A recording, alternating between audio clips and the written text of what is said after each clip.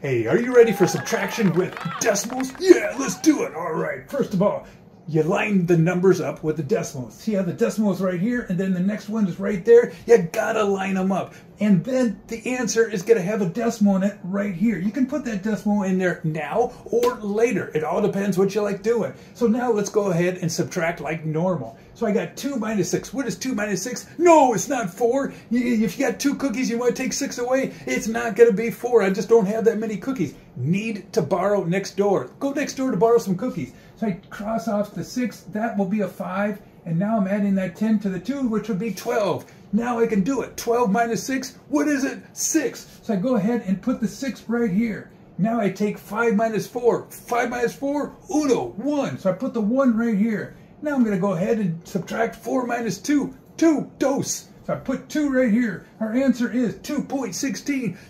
that was so much fun. Hey, make sure you hit that like button. Hit the subscribe button for more exciting math videos. Talk to you later. Adios. Goodbye.